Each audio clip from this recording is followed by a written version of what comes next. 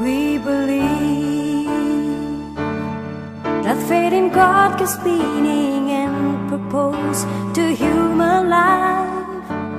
That the brotherhood of man transcends the sovereignty of nations.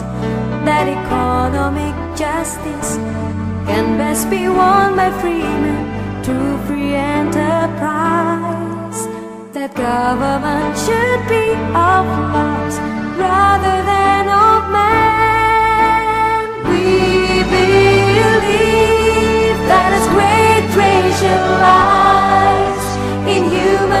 personality and the service to humanity is the best work of life.